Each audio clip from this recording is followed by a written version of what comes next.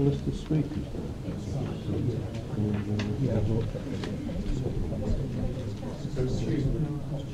Could you actually, sorry, could we actually move, could you move that chair out because it's blocking the fire exit? We just had a discussion about it. That'd be great. Um, yeah. Sorry, if you move that chair as well and then move. Yeah, thank you, sorry. Thank you. Uh, chairs. We have to stand. Sit in that chair.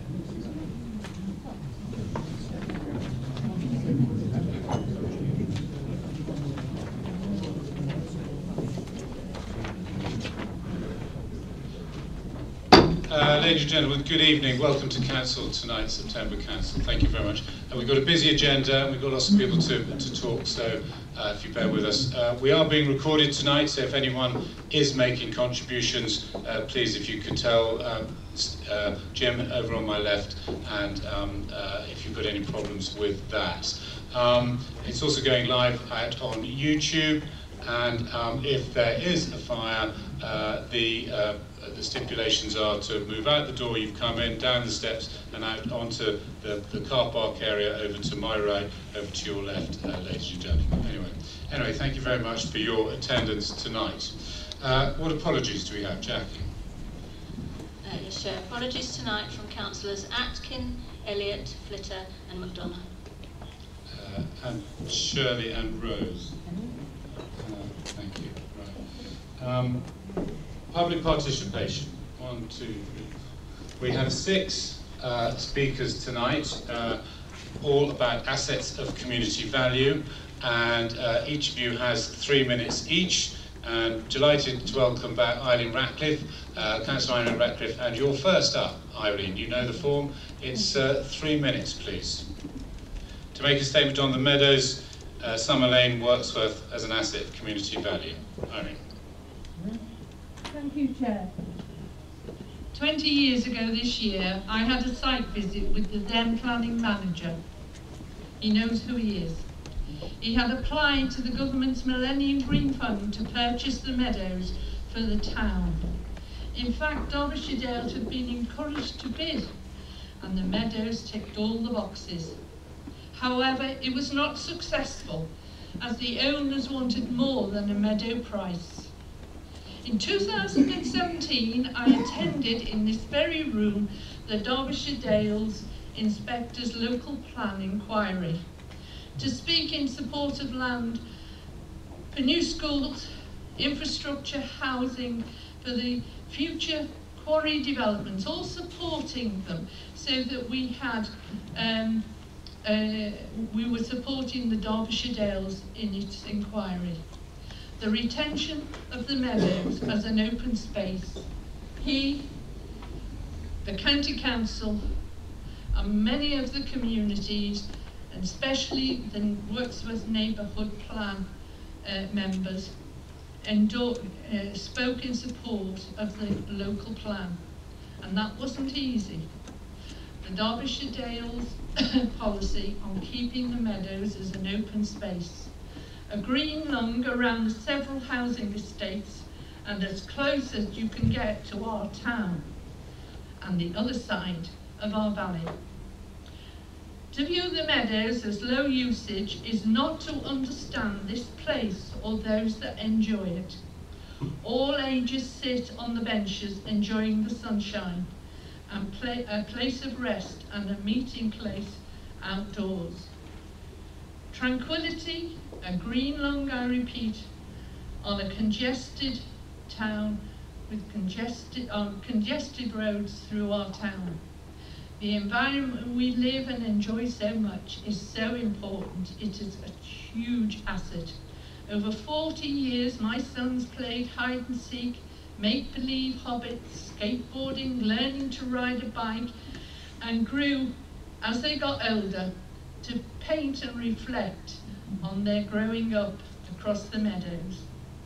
Walking through the meadows was part of dozens of many, including myself, walking on flat ground in rehabilitation following treatment. Linking residents and meeting points Our school children linger and enjoy the flora and fauna. Conservationists come at uh, Derbyshire wildlife um, surveys looking at the insects and all the habitat. It was purchased as an open space for residents to enjoy. This meadow is now for sale. Hope and the town council hopes to put has, has put in a bid to keep it for the community and we hope it's successful. If it isn't, Three minutes. as we, thank you Chair, I'll round up, we as a community are unable to buy it unless we have time to get pledges of money to approach the owner. The right to bid. The Meadows really was not ever considered in this, in the way in which the residents now will be telling you tonight how much of an asset it is. I hope that everybody here, and those that are on, uh, that can view this on video, that Wirksworth people have a great asset in Meadows, and we join with the district council to try and fight to save it. Thank you, Chair. Thank you. Right. Uh, next up is Mr. Robert Ledbury. Uh, Mr. Ledbury, if you could stick to the three minutes, please. We've got lots of speakers and I want to be fair to everyone tonight, please. Mr. The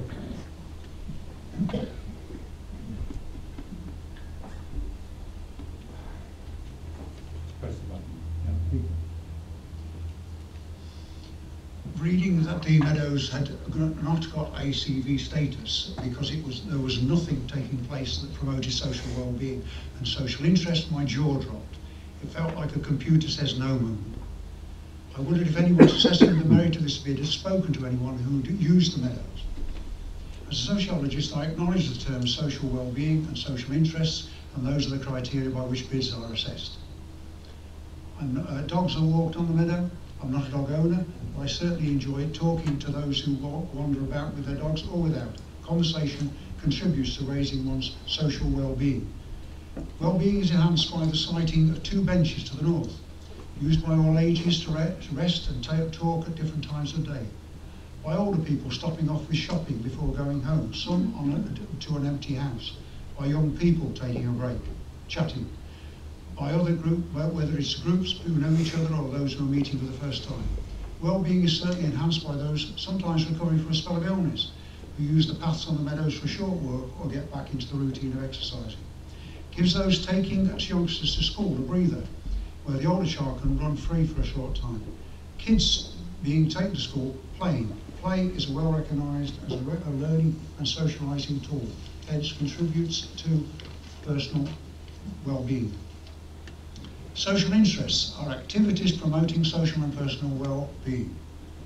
Here, an example from the back, from the past, guerrilla gardening, attempted tree planting. People concerned will know what I'm talking about. One criteria used to assess ACV request future use, but on this we understand it wasn't actually applied in, in, for, in, in terms of this bid. However, um, any personal wish list may hold, any personal wish list any individual may hold is not what we're looking for. However, if only the particular examples of use I've mentioned above are considered but extended to the next level, we would have a fact-based initial list of ways the meadow might be used in the future. I can only sketch over this. More seats with tidy grassed area for picnics, mini park.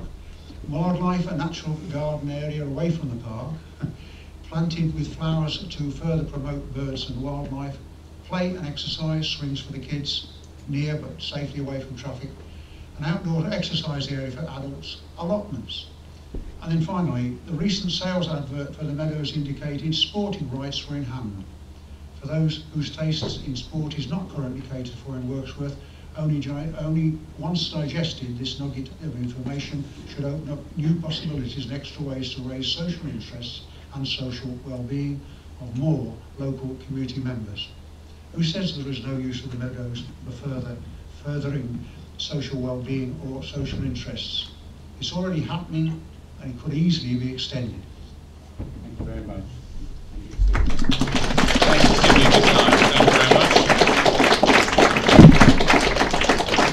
Mrs. Alison Ledbury, please.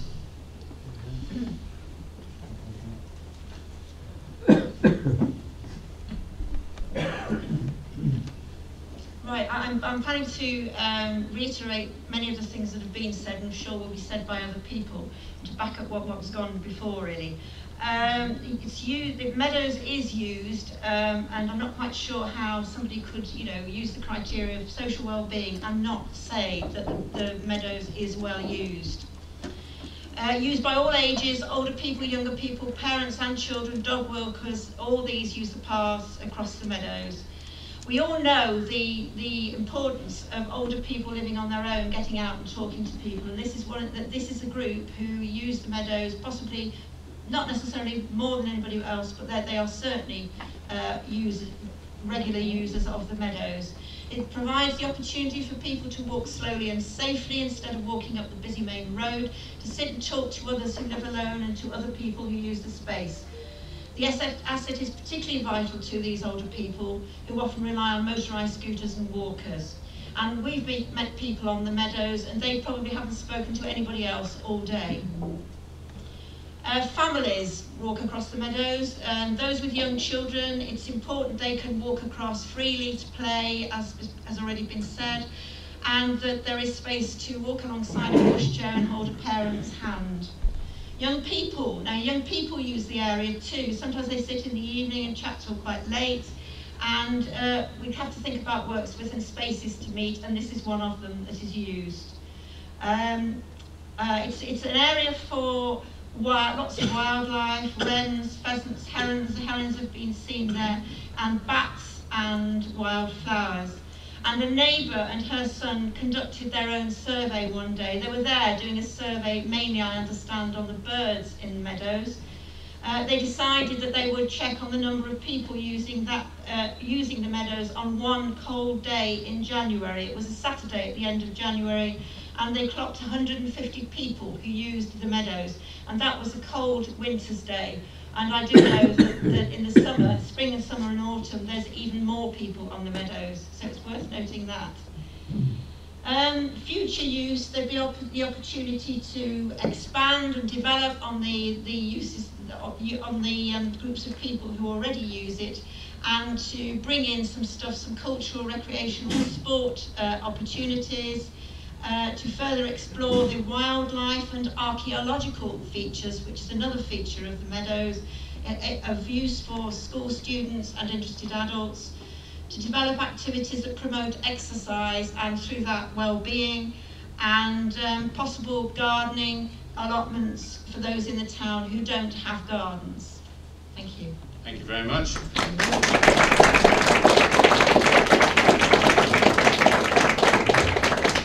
Mrs. Sue Watts, next, please. Thank you. You have three minutes like the others. Mrs. Watts. Okay. Thank you. You just press the, mach the machine. Thank you. In a world where we are constantly reminded about the imminent disasters that climate change will most definitely cause, we are bound to make a stand to save even this small plot of land known locally as the meadow. Wild flowers, wild meadows are already under threat and disappearing from our green and pleasant land. We should therefore be proactive in persevering, in preserving what already exists. This natural expanse of beauty and nature working in harmony reflects the changing seasons so vividly. A mat of celandines covers the whole area in early spring, and eventually delicate little patches of lady's smock appear, rare and beautiful in this area. The white maid blossom, the blackthorn and the bluebells follow on, and in late spring huge swathes of cow parsley and comfrey appear in, in the late spring. But by summer, the rose bay willow herb and the dead nettle take over. And then we are left with the skeletons of umbellifers and giant thistle, which last into winter with the red berries of the hawthorn and the blackthorn. not to mention the wildlife species it supports, thousands of millions of insects and small creatures, newts, frogs, toads, including badgers, squirrels, although they are the grey ones, hedgehogs, and there's red kites have been seen overhead at buzzards and bats. If you think this seemingly insignificant parcel of land, as suggested, is not an asset to the residents and visitors of this community, I invite you to, to spend time in this space and count the number of individuals who walk through it. Pass the time of day there, walk their dogs, stay and chat, or use it as a shortcut route on the level ground, particularly for elder pe elderly people. We have a right not to destroy this vital habitat, this jewel in the crown of such a town as Wirksworth, a unique wildlife haven so unusually close to the hustle and bustle of the town centre. If it's just the pound signs you can see, if it's just the pound signs you can see, get more land for building on, then ask yourself, why must the love of money always dictate what we, Mhm. what decisions we make? Three minutes. We love our meadow and we are passionate about it. And as the Chinese proverb says, the frog never drinks from the pond it lives in. Mhm.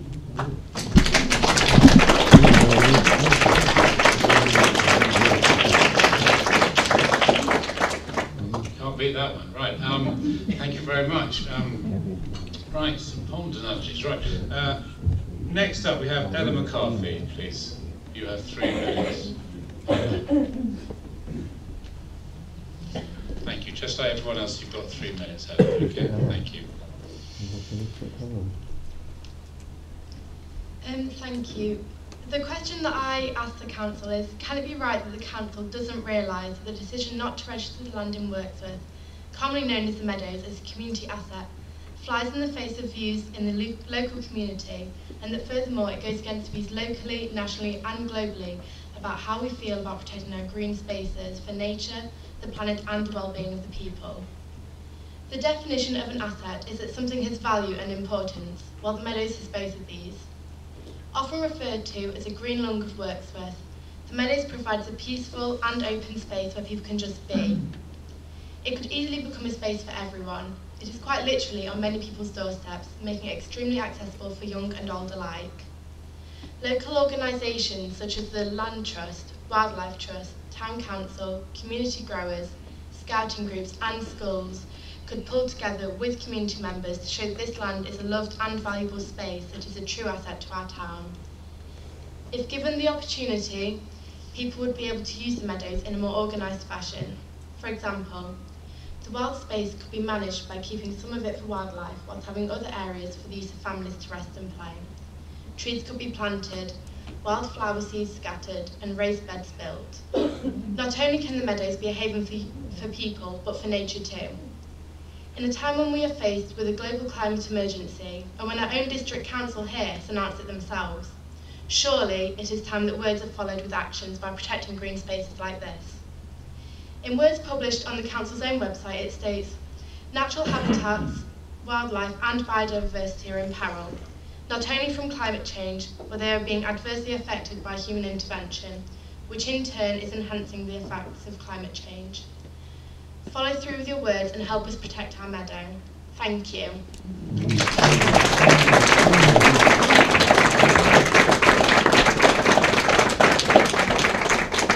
And finally, we've got Karen Player to get- have her three minutes, please.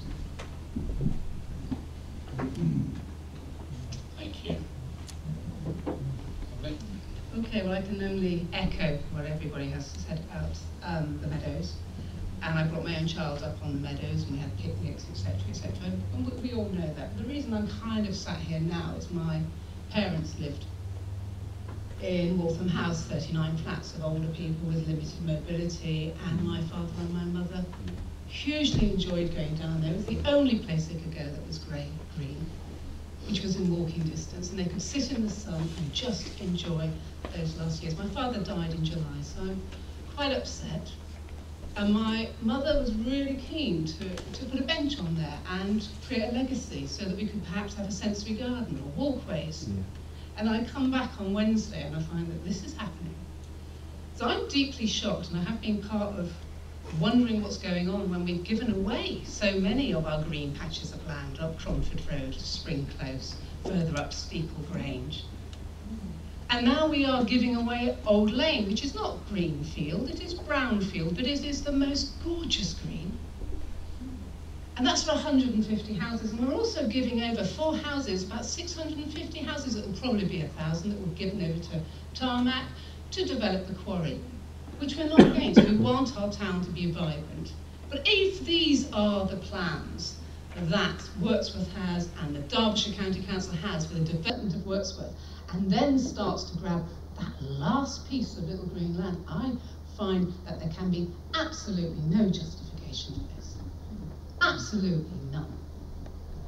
And when I come to politics, and I'm not a politician, but I understand politics, and particularly conservative small c, politics is about retaining, and it's about working in groups and coming to the right sort of conclusion that is for the good of the community. If you make this decision to allow the seller to sell this piece of land, you will be doing this to the detriment of the whole community and to the benefit of one. And I ask you, particularly in these political times, to actually look at your consciences and for once vote in the right way. It's probably off mark, but that's all I have to say.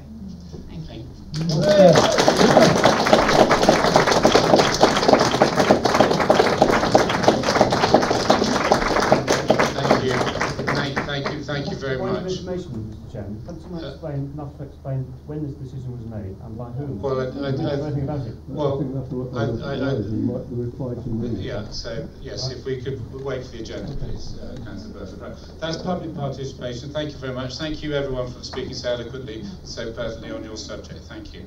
Um, uh, item three: approval of the minutes of the previous meeting on the 25th of July. Can I have a mover, please? Uh, Councillor Purdy, seconder. Councillor Swindell, thank you. All those in favour, please show. Thank you very much. Interest. Nobody has uh, intimated any interest um, this afternoon or prior to this meeting. No interest registered. No, that's item four. Uh, and we just move on to item five, leaders' announcements. Uh, Councillor Purdy. Thank you, Mr Chairman.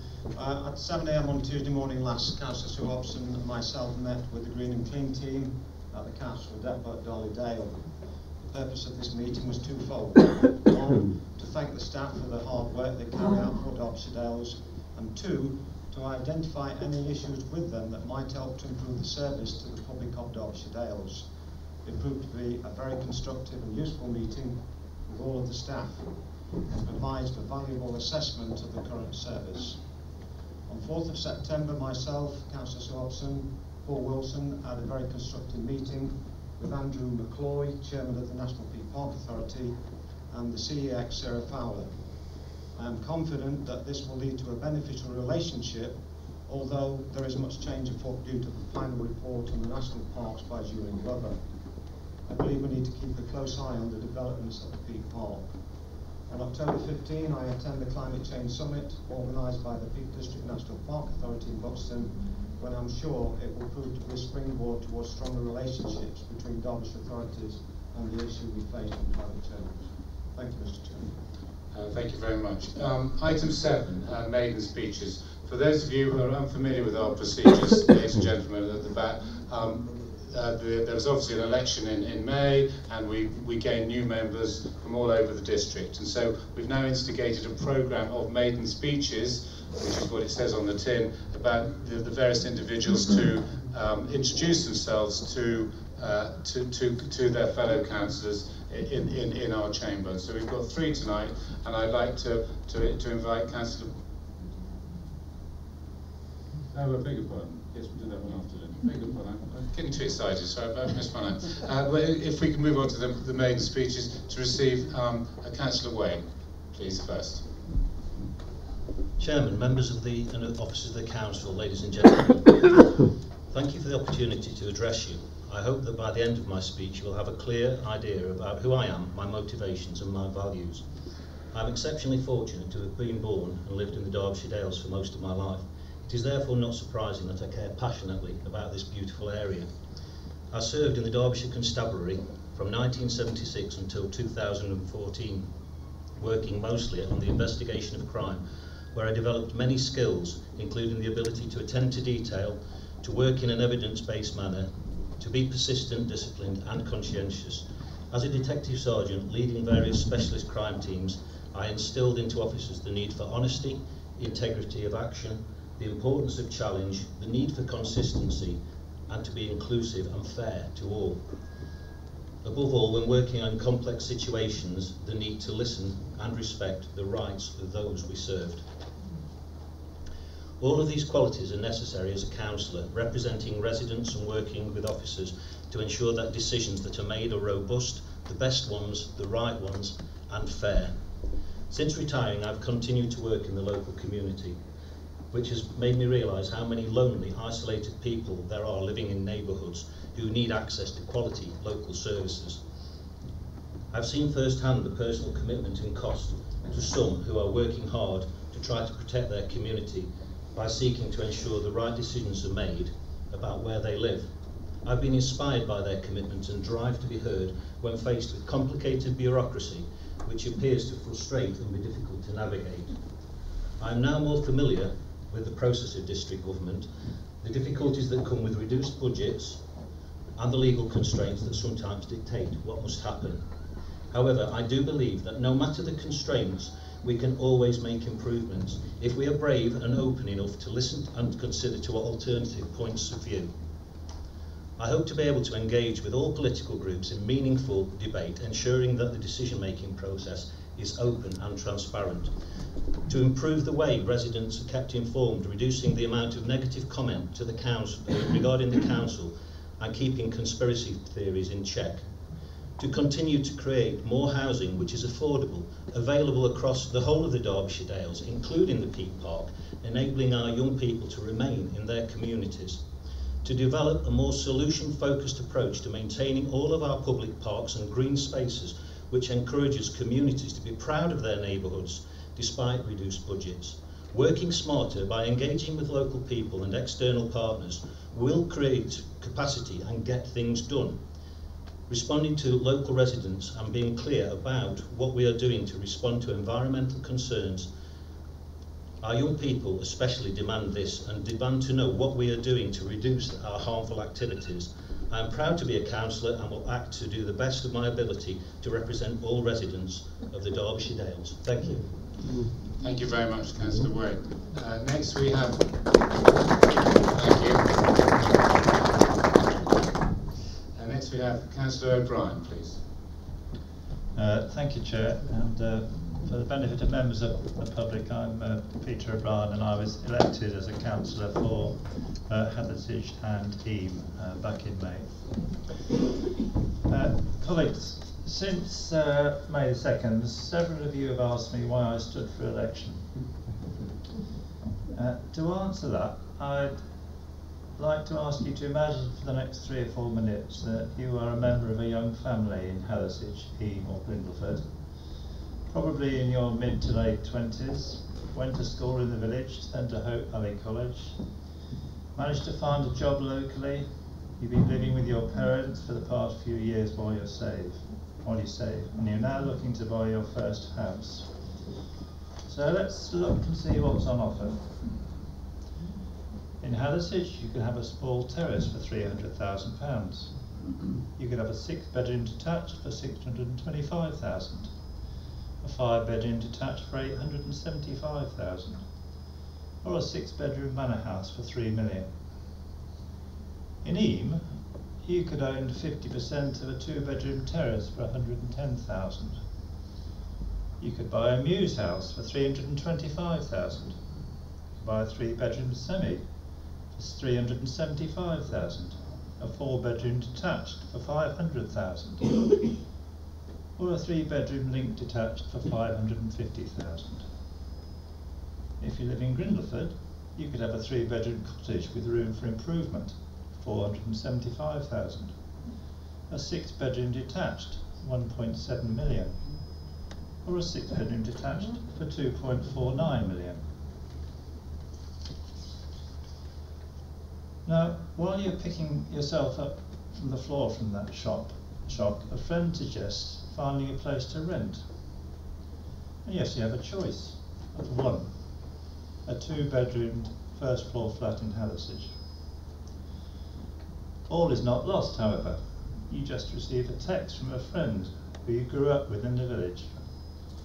She invites you to a housewarming party in a brand new two-bedroom townhouse she just bought for 120,000 in Sheffield. The same situation I've highlighted in Hathersage and Grindleford, I think equally applies in many other villages. In Stanton, in Great Longstone, in Winster, and in Baslow. I mention these villages specifically because housing issues do not respect political affiliations. Mm-hmm. Living in the Peak, Peak District, bringing up a family, is fast becoming a privilege rather than a right. I look forward to all of us continuing to work together to ensure that a decent, affordable home to live in becomes a right, not a privilege, in every part of the Derbyshire Dales. Very much. And uh, Councillor Raw, please, your three minutes, please. Thank you. Hello everybody, okay. Um, I was elected along with Peter as a Labour councillor. I was asked to stand, I think because I've got a bit of a, a fiery character and socialism is in my DNA. Um, I've lived in the Hope Valley for 18 years and I'm very passionate about wildlife as some of you would know. So I would like to take this opportunity to thank those of you who responded to my letter about the proposed badger cull and um, report that I'm pleased to say that the proposed cull in Derbyshire is not going ahead. And this is a real example of how we can actually, as community members, create change uh, in our communities. Um, and it was due to the active lobbying of residents and uh, local wildlife organisations. So we've got additional monies going into the vaccination programme in Derbyshire. Um, but the government, sadly, has issued 11 new licences, including Cheshire and Staffordshire, which are on our borders, and we know that um, there is um, culling going ahead in those areas. Altogether, this will result in 63,000 badgers being slaughtered, um, which I just find horrific. It's an expensive waste of taxpayers' money. There's no significant scientific proof um, that this is effective.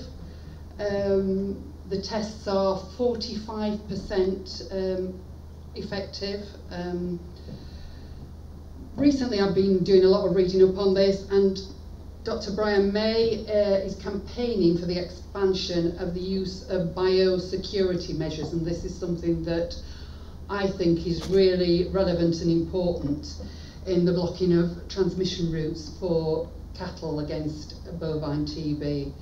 He's proved that this has been successful in a small project in Devon and resulted in no cattle being slaughtered.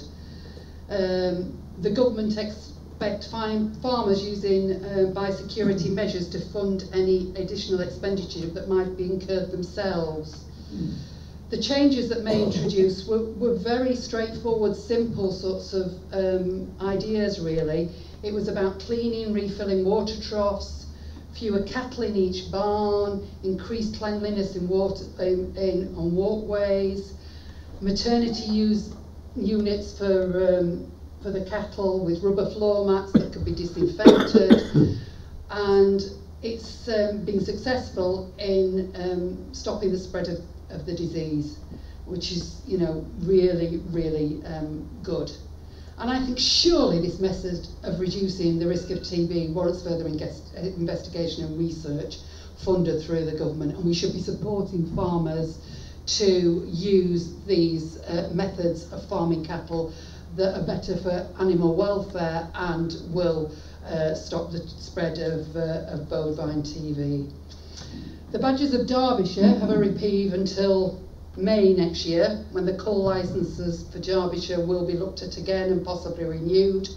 So I will be badgering you all, pardon the pun, to be sending letters out again and um, I plan to talk to uh, members of the NUF about the project that Dr May set up and looking at how we can support local farmers to look at different ways that um, we can protect our, our cattle from bovine TB.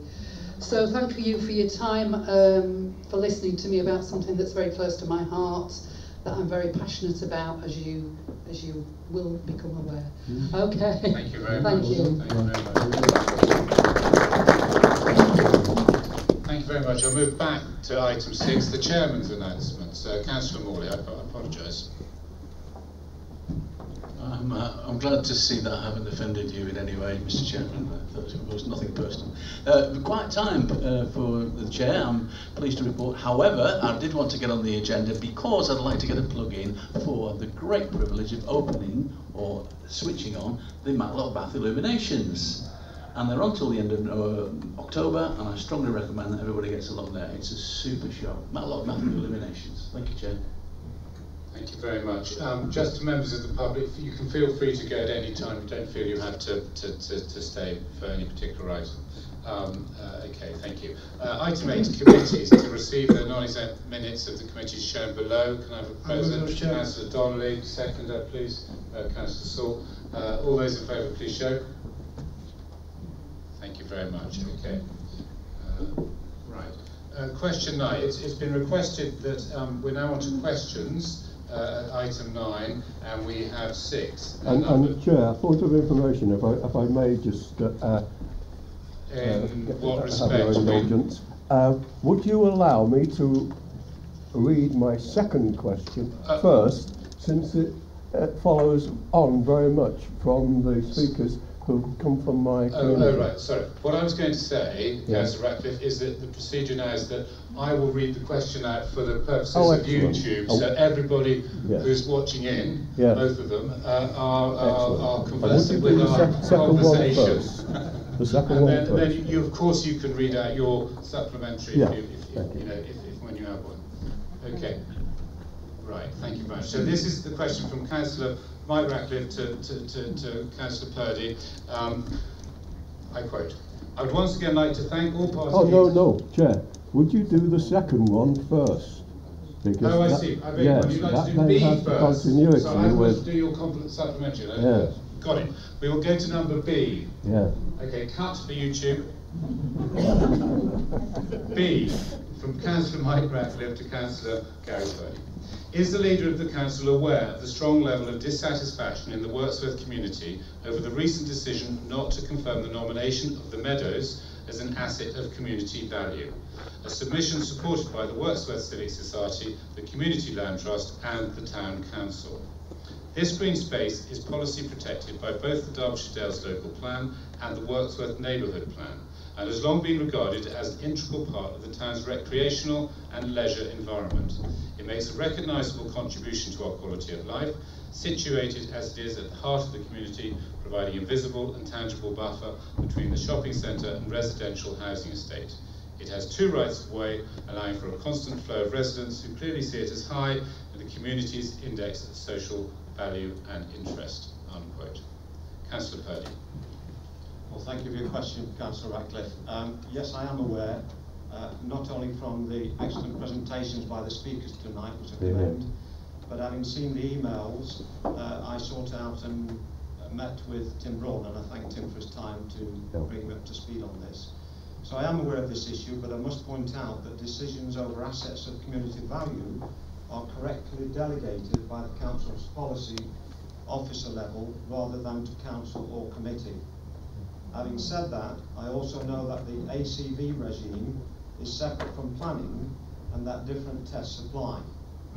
The land already enjoys some protection by virtue of the inclusion in the local plan and in the Wirksworth neighbourhood plan.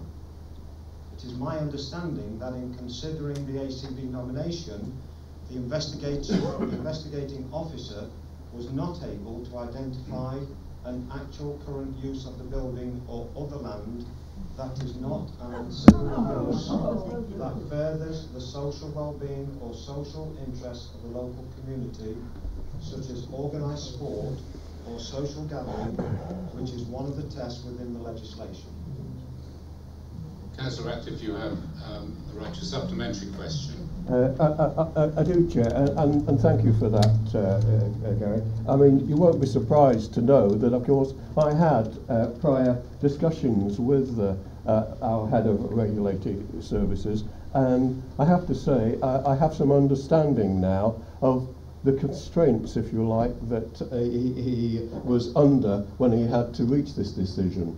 I have to say it's a decision that I, I am very much opposed to, and I, I think uh, it's just yet one more aspect of the government's 2011 Localism Act that half-heartedly was uh, intended to give power Is to, this coming to a question, our communities. It's a supplementary yes. question. I have, please. yeah. Would the leader of the council agree with me that one of the district council's responsibilities is to promote and support the well-being of its residents?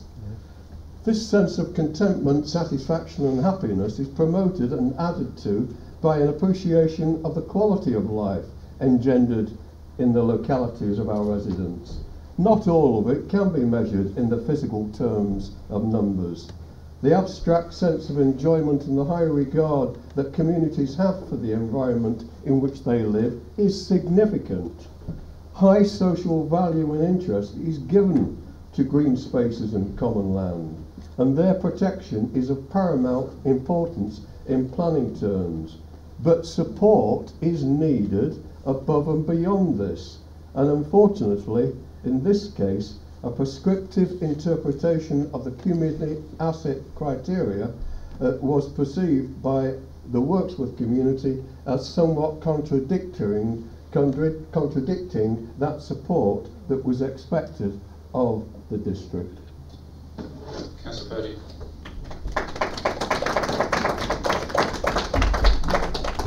Well, of course, Councillor Ratcliffe, I agree that this council uh, is concerned about the well-being of its constituents without doubt, but according to the constitution, and an officer decision has been made in the name of the council. Thank you. We'll now move on to um, uh, the first question, which is agenda uh, uh, number A. Number A. And I'll read out the question again. Okay. So this is the question from Mike Ratcliffe again to Councillor Garry Purdy. I quote. I'd once again like to thank all party leaders and council members for their unanimous support in adopting this council's climate emergency motion. Would the council leader now be prepared to give his support to the following measures to make this local authority free of single-use plastic? One, DDDC would initially, where feasible, seek, uh, seek to remove single-use plastic from its premises. Two, DDCC would encourage plastic-free initiatives. Three, DDDC would look closely at a procurement strategy that seeks not to use single plastics. Four, DDDC would issue press coverage and publicity to promote its adopted single-use plastic-free profile. Unquote. Councillor Purdy. Thank you, Chair. Thank you again, Councillor Ratcliffe, for your question. These matters are for consideration by the Climate Change Working Group, who are tasked with considering the issue as a holistic matter rather than in regard to isolated matters. The Climate Change Working Group was therefore allowed to conduct their work, which will be reported to the Council, as you know, periodically. The group have provided a roadmap which I believe should be followed. I might add the Council does employ a recycling advisor who has already undertaken work aimed at reducing single-use plastic within the Council. Members will be interested to know that the current post holder is moving on and the vacancy that this has created is currently advertised. Climate change working group might be able to liaise with the new post holder over this issue when he or she is in post. Councillor Ratcliffe, your supplementary. I, I, don't have a supplementary, but I want to thank you for, for, for that response. I'm greatly encouraged that uh, we are prepared to uh, include this initiative in, in our uh, strategic uh, approach to climate change. Uh, I personally would see it as perhaps slightly separate from carbon emission, emission reduction. However, uh, I, I, I, I think uh, anything that we can do uh, uh, to bring about um, of this and indeed uh, uh, uh, a more sensible approach to climate change, I think is to be welcome. and, and let's hope we can see the fruition of this as soon as possible. Thank you very much. Okay. Now we have question C. And so, David, do you want to read this one out? It's your question. Would you like to? I'll read it out. Thank you. Um, I'll take the second one as my supplementary, I think, as well, because there are two questions there.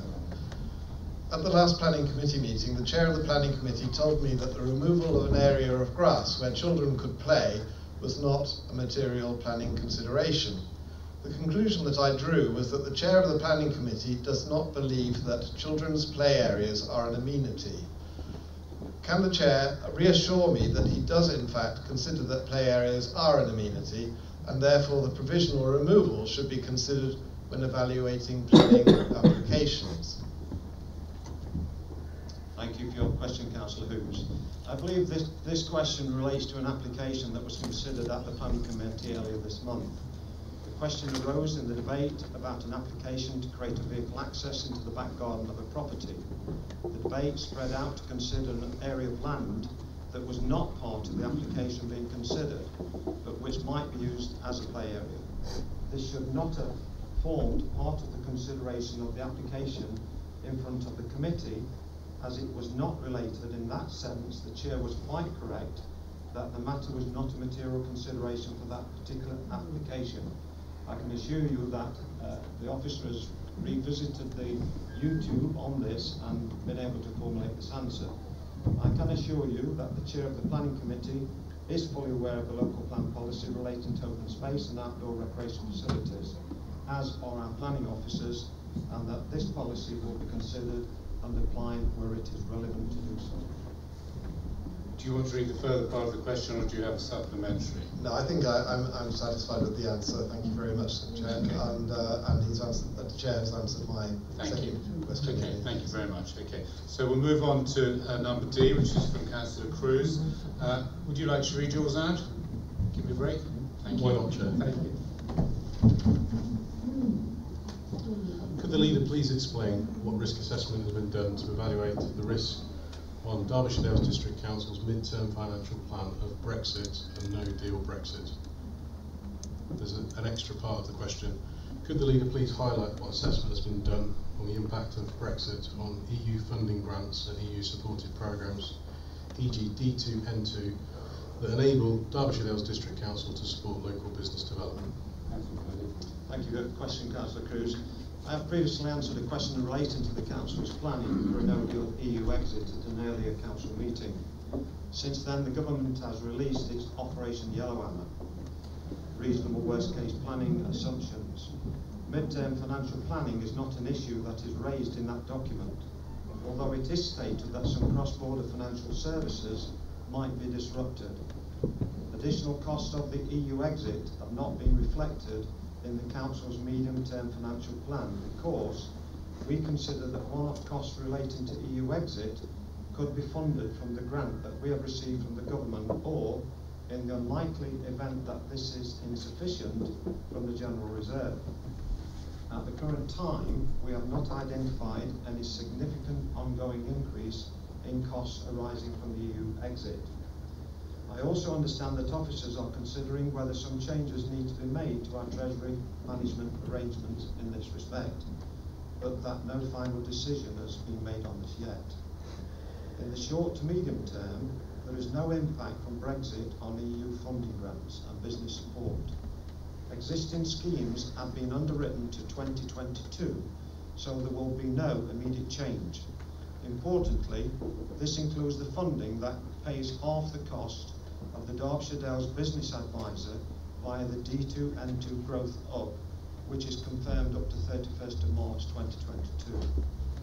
In the longer term, the situation is not certain, much as it would be anyway whenever a funding programme is due to end. The government has indicated that it will replace EU funding with a UK fund.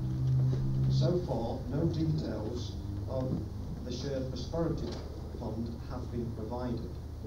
From the Derbyshire Dales perspective, the key risk with the shared prosperity fund is that the terms and processes by which the fund is distributed are not geared to rural areas. To address this, the District Council is lobbying, lobbying the Local Enterprise Partnership to acknowledge the needs of smaller business in rural areas. I would add that a recent meeting with the chair of D2N2 and the CEX by myself, Paul Wilson, Councillor Sue Hobson, we did press the point on rurality.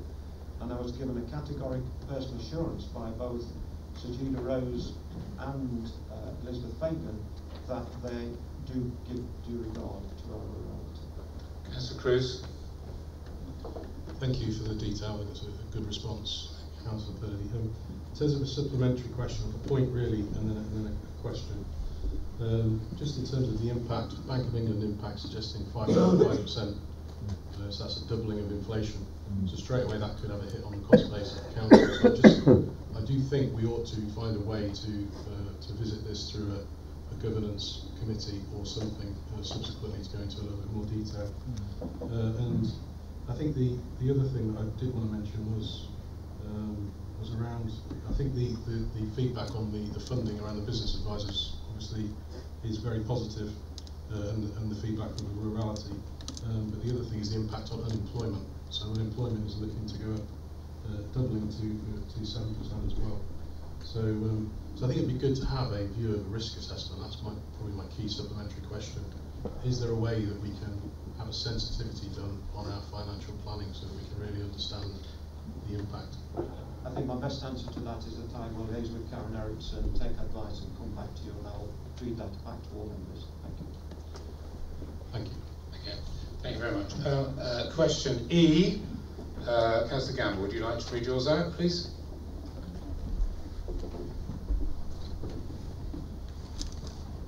Right, is that, is that, can everyone, that, have I got the uh, thing right? Yeah. okay. Right. I understand that, that, that, or I've been told, there's going to be a report on the Monsall Head toilets presented to members in November. Can the leader reassure me that it would be presented to all members, since all members were consulted in the review that took place last year, and it will include all options to keep the toilets open, including the option of the Peak District National Park or Ashford Parish Council taking them on? Consultation last time was influenced by the fact members were told a buyer was going to keep them open. Proper ward consultation didn't take place as they, re- mm-hmm. they were reviewed under the wrong ward. These mm-hmm. toilets have been closed for over a year and a half in an area of such outstanding beauty. The BBC filmed there to cover the publication of a review into to national parks last Saturday. Councillor Purdy. Thank you for your question, Councillor Campbell.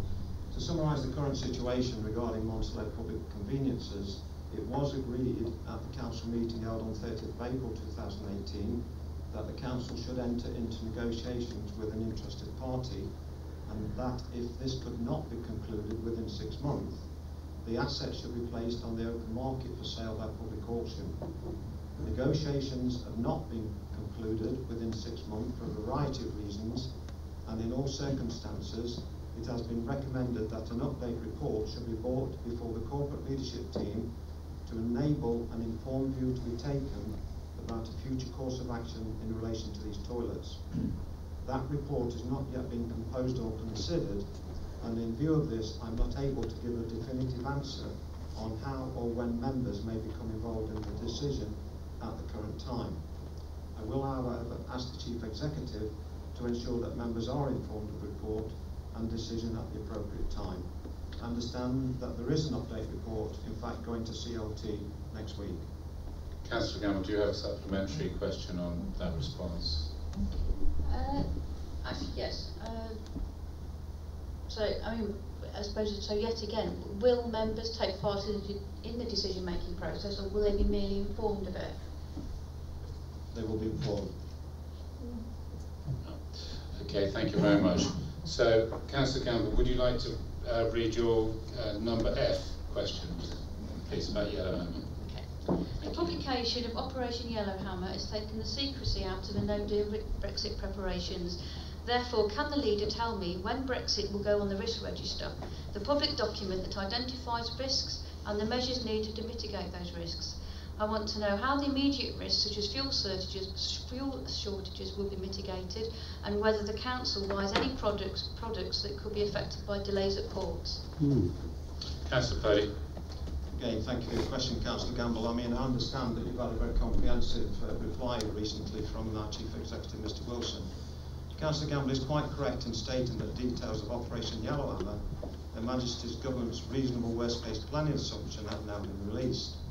As previously stated, the Council works with partners within the Derbyshire Local Resilience Forum on planning for major events such as Brexit. Some of the assumptions listed in Operation Yellowhammer can reasonably be seen to have the potential to impact on the District Council and as such have been included in the Council's Strategic Risk Register. It is my understanding that officers are now working on a more operational risk register as 31st of October approaches and that this operational risk register will consider actions to mitigate the potential impacts listed in Yellowhammer in more detail. Following the advice of the LRF and Their Majesty's Government, we are still of the view that the contents of the operational risk register should be treated as sensitive at the current time. But I do understand that the potential for fuel shortages and supply chain disruption as listed in Yellowhammer are being considered. For information, the Council received significant funds from HMG to help mitigate any effects of Brexit, and these funds are held in reserve in order to be utilised if required. Councillor Gam. Thank you. Uh, right, actually, my supplementary is more to do with. I did cover it uh, just to confirm that my my meeting wasn't with Mr Wilson, but At least I meet, I see well, okay, I, I haven't had any communication from Mr Wilson, either by writing or in person. well, um, um, but regardless, anyway, on this. Um, my, so my, my question actually is on the, as a result of the meeting that I did have with Tim Braunt and Karen Hankinson, on the risk register actually, which I understand is a public document, um, which I needed to come in to come and see because apparently it's produced in a format which is means that someone has to come look at it on a screen and it, and it can't be made into a paper format. So my question is, what happens if you're ever given a freedom of information request to see this document? Councillor Purdy. Good question, I can't give the answer at the moment. I'll find out the answer for you, Councillor Campbell, come back to you. Okay, thank you. Thank you very much. That ends the questions. We now move on to item 10. Um, uh, Councillor Purdy. Yeah, so this was about the proposal of process of motion. Thank you. Since I uh, received this application or consideration of this motion from a constituent in Derbyshire Dales, which I took advice on, uh, which seemed quite simple in formatting the question, and other authorities have approved. Um, there have been a number of emails from members which has made me decide to withdraw the motion.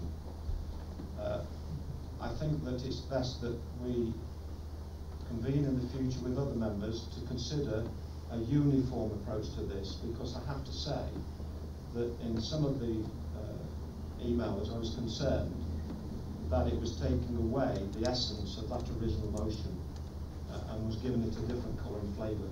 So I'm not happy to move the motion. I'm withdrawing it. I will consult, and I think it's best that we take a uniform approach as a council and agree on the right motion. Okay. Thank you very much. Uh, so we move on to item 11, uh, the update from the Climate Change Working Group. It's already been mentioned uh, a few times this evening. Uh, Tim Braund, please. Thank you, Chair. Well, although the report's written in my name uh, in accordance with the Council Convention, um, what I'm actually going to do is hand over to Councillor Chapman, who's Chair of the, the Climate Change Working Group. All the report seeks to do is to introduce the work that's been done over the last couple of meetings of the group, uh, and particularly to highlight the roadmap that the group has developed. Um, so, Councillor Chapman, over to you. Thank you, Tim. Um, Yeah, first of all, I'd just like to say how, how impressive and how um, enjoyable it's been working with the, with the uh, people on this group. It's a, it's a cross-party, it's a, a wide-ranging knowledge, wide-ranging enthusiasms, uh, and in the case of our Green Party member, a, an entertaining slight hint of surrealism. but yeah, can I, I, I, will, I will start by, I, I will go straight in with the roadmap. Um, I mean, it, it is fairly self-explanatory, but I would like to, obviously the first, the first column is, is our ambition, and that's a zero carbon by 2030.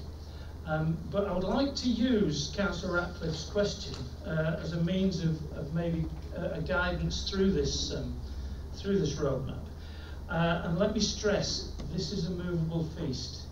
We are, we are very open to any in, in suggestions, help, requests, concerns by members and by the general public uh, to, to add to this or to, to challenge this.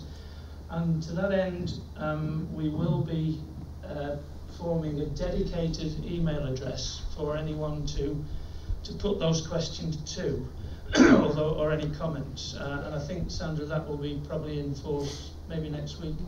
And, and we'll probably put that up on the website for people to, to, to, to use. So I would ask you to use that when it becomes available so that we can disseminate um, what, what's relevant, what's appropriate, and, and how we go about things. But, but with regards to Mark Ratcliffe's um, comments, uh, um, first number one, where he says the DDC would initially, where feasible, seek to remove single-use plastic from its premises. Well, if you look at if you look at the roadmap and you go to um, column A, number two, uh, you'll see that that's labelled promoting a sustainable environment. That links on the top link to DDDC buildings. Well, that is exactly one of the things, Mike, that we will be looking at ah, as relevant to DCC. There isn't room on this on this map to put everything that we will be doing, but rest assured that it falls within that category in that roadmap. Your second point, um, DDC would encourage plastic plastic-free initiatives. Again, if, if we look down um, column B and we look leading the way on climate change, We've got case studies of good practice. Yeah. And the third question would look closely at procurement strategy. You'll find that we've got procurement in that box. And procurement won't just end at plastics or consumables. It will look at, at equipment, where it's come from, the carbon footprint of, of the country that supplied it, and, and it's, it, it, will be, um, it will be covered by those, by those topics.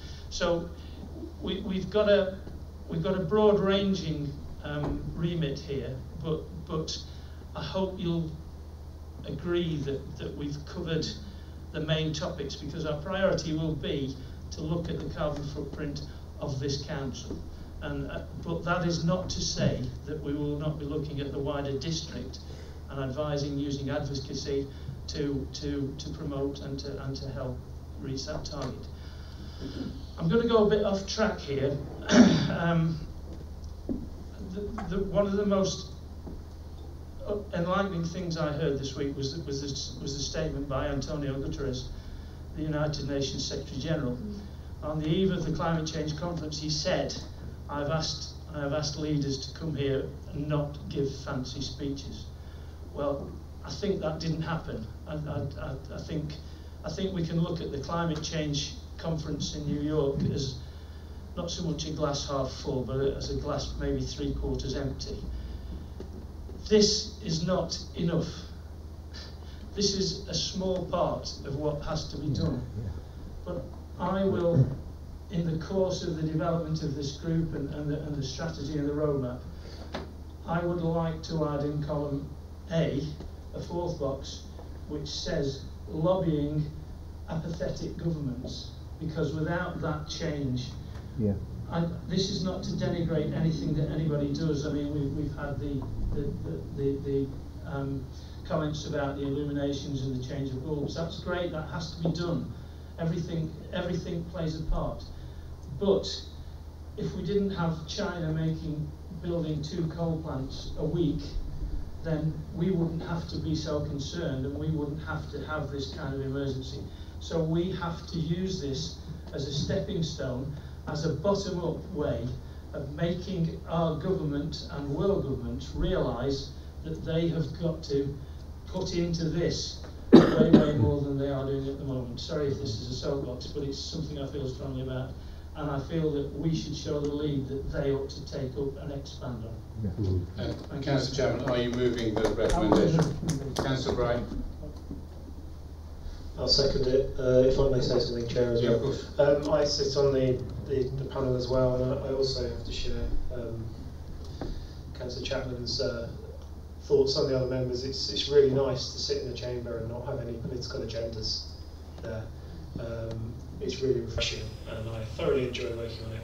What I would say is that um, councillors, uh, other things that we're doing, if I may build on Councillor Chapman, is we are um, we're reaching out. The officers are doing a great job reaching out to experts all over the country, other councils who have done things that we we could look at as gold standard. Uh, so we're not having to reinvent everything. So we are doing that. And another thing that this report does does uh, allude to is the fact that we are we are trying to educate and empower people of Derbyshire That's one of the things we're going to try and do through the council to make changes themselves. You know, you can hit people with a stick or you can give them a carrot. If we're given the carrot, they'll be more likely to keep doing the things that help, you know, help us with the, the climate emergency. So those are the things we're looking to do. So uh, I, I second this report. Okay, thank you. I've got a number of speakers, and if I can all ask you to be, um, you know, pertinent with your with your comments, please, and concise. Uh, Councillor Martin Burford first, please. Yes, thank you, Chair.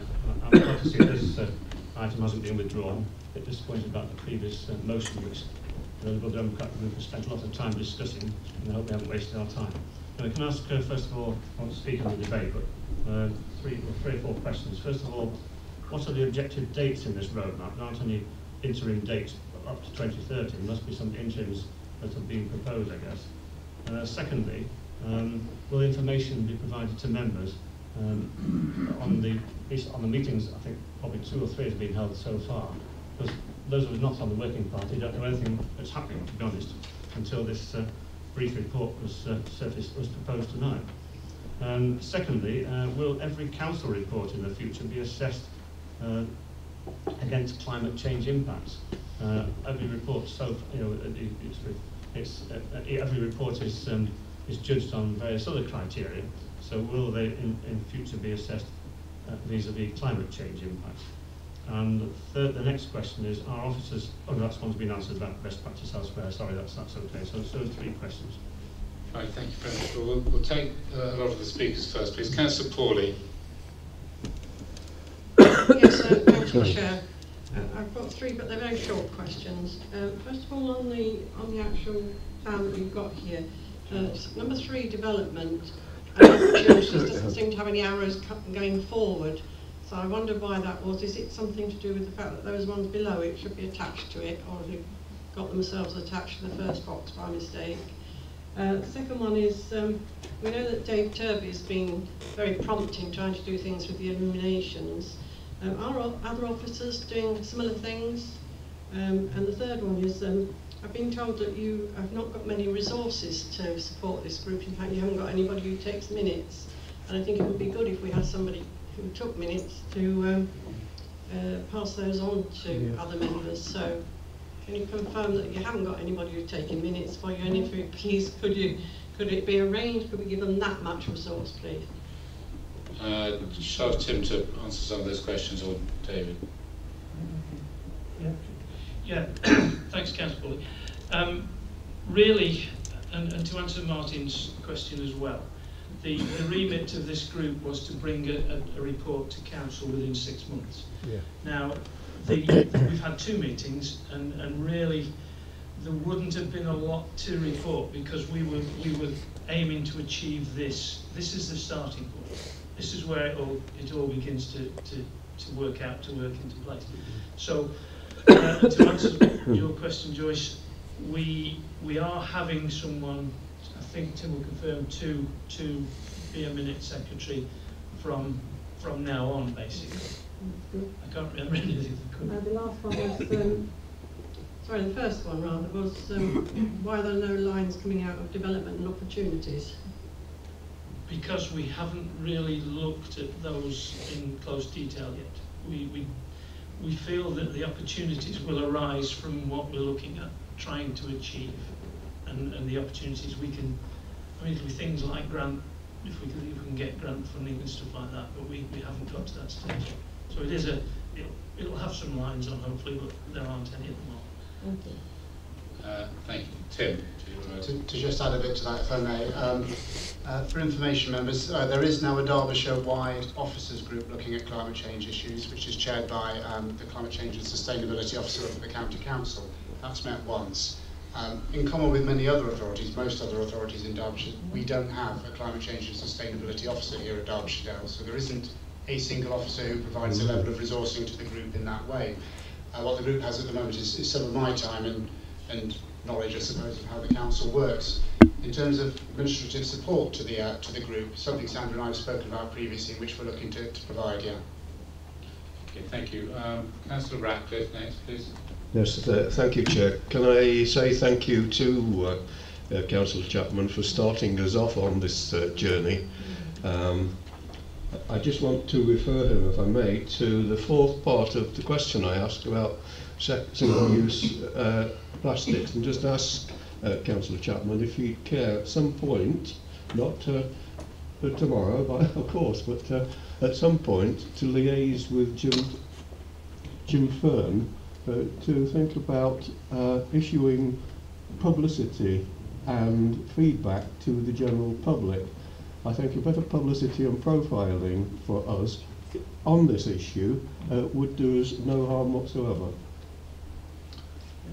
Yeah, that's true. Yeah, yeah, thanks, Mike. Um, we most certainly will be publicising it when we've got something that's really worth publicising. Yeah. And, and obviously, um, I'd just like to add that the comment you made about plastics not being strictly climate change, but uh, if you look at the second uh, B column down at the bottom, this was one of the the last box in the in the line, and this was one that I personally wanted to um, to have in there, even though it's not.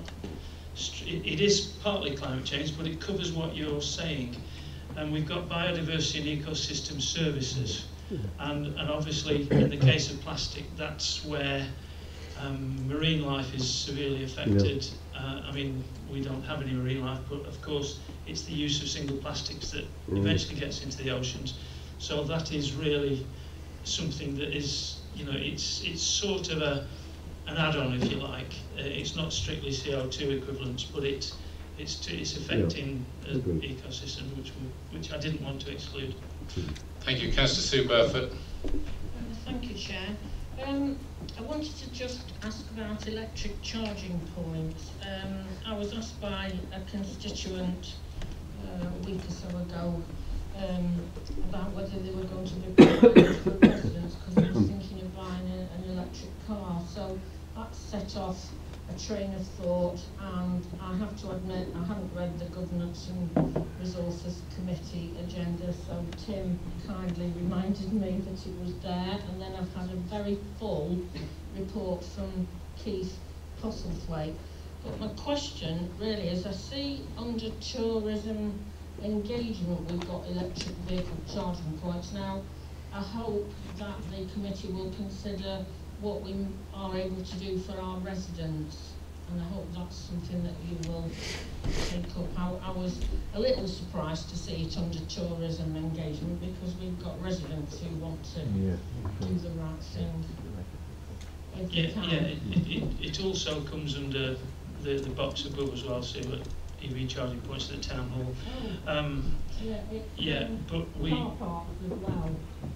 I mean, we are looking, obviously, at EV charging will be a, a, a, large part of our remit, but I think we, we, we have to realise how far we can go with, with the residents part because that, that and, and, and really I suppose you'd, you'd look at that further down where we've got it embedding in core strategy, so we'll be mm. looking to, to make that point.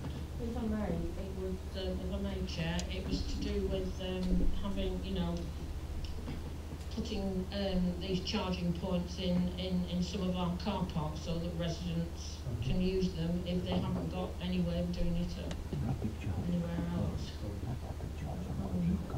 Well, I think we can we can act as advocates on that, but, but for the actual minutes, logistics of it, we'd have to pass that over to, to whoever's got the resources. We can make that point and, and, and, and sort of strongly make that point, but, but we are in the hands of the people who are actually bringing about that. Thank you, Councillor Purley. Uh, thank you, Chair.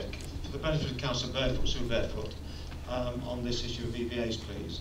Uh, I've had a meeting yesterday with Keith Postlethwaite on this very issue, uh, and it's really a case of supply and demand, uh, not just putting EVAs out into car parks and then nobody using them. I'm led to understand, for example, that the council in the Lincolnshire area has gone ahead and put them in all their car parks and they're not being used.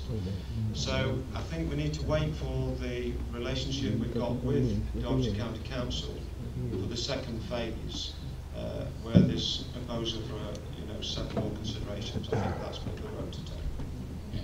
Uh, Councillor Slack. Thank you, Chair.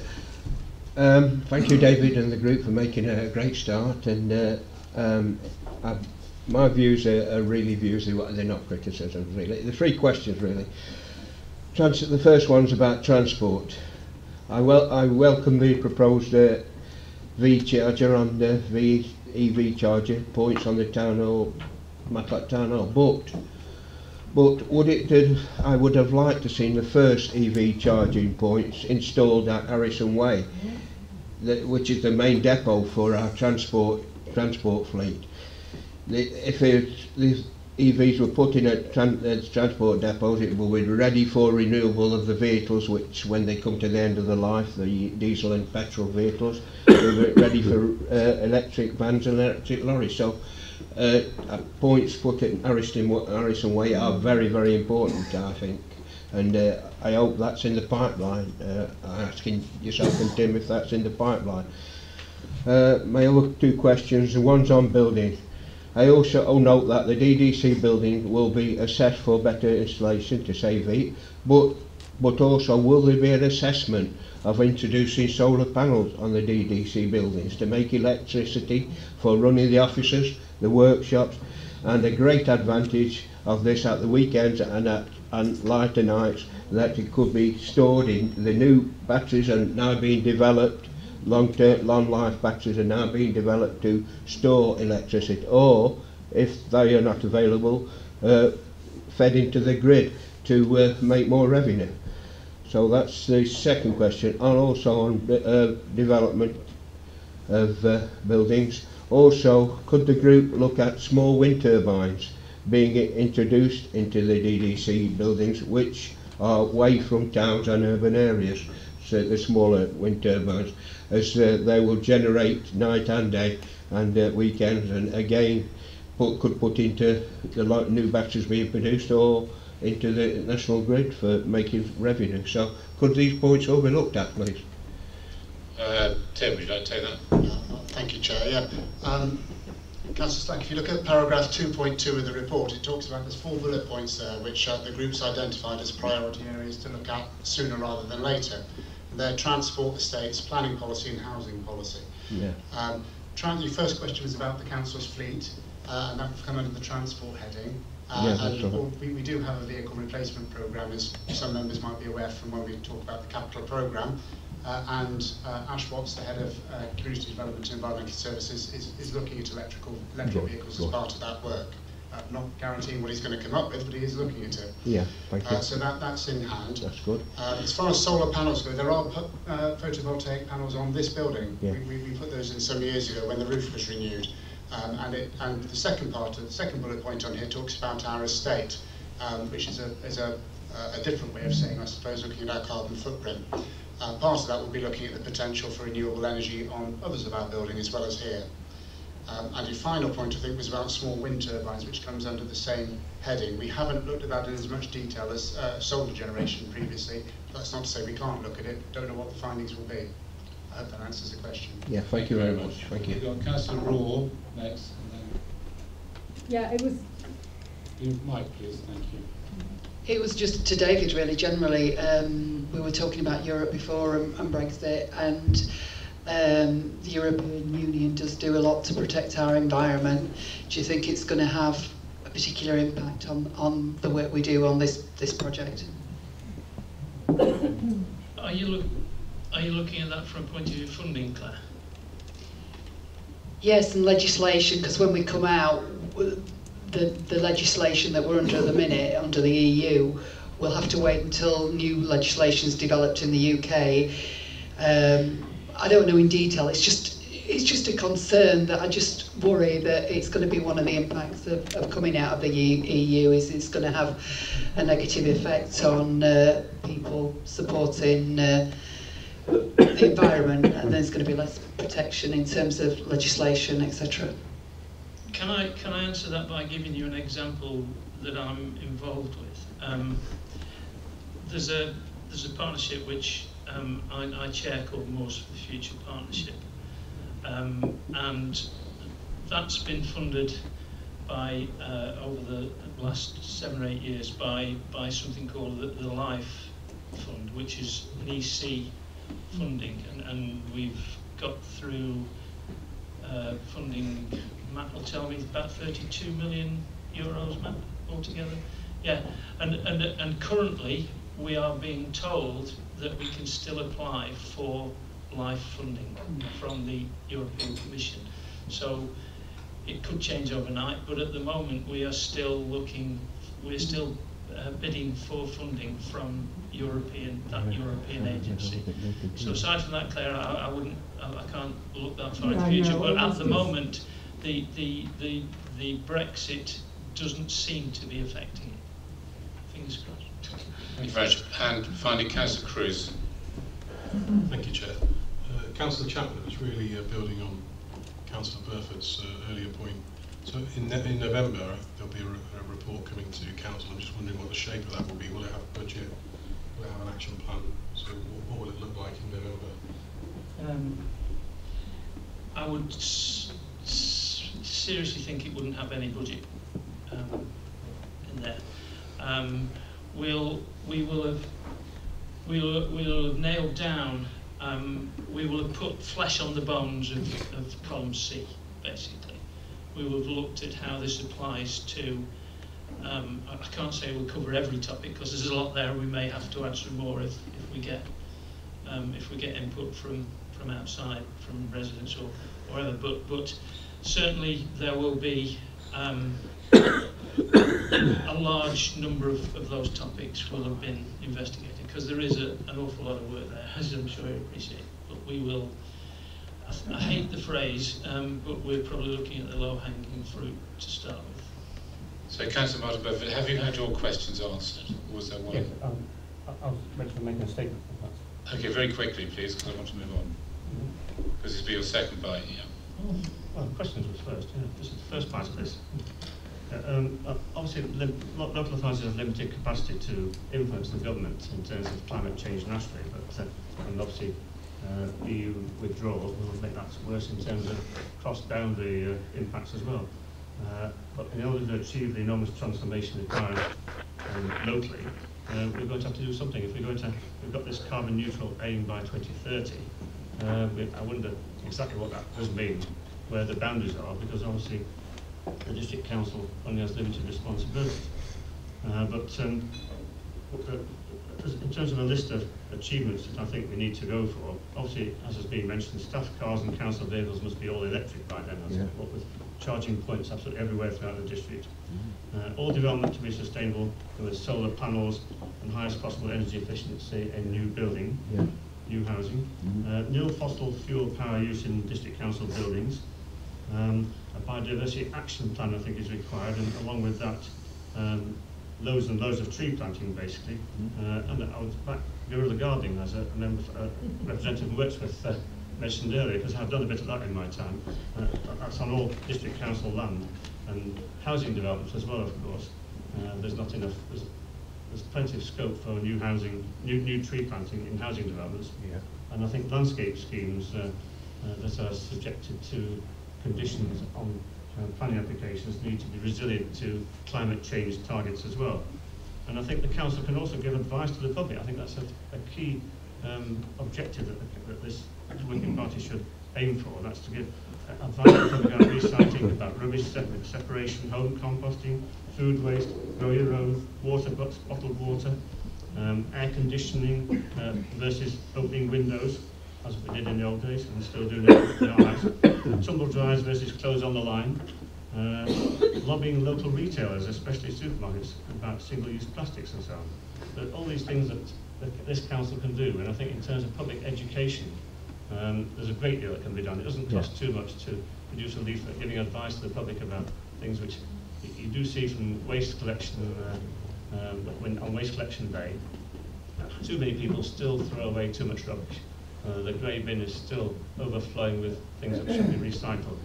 Uh, and our own litter bins, for instance, uh, in the parks and so on.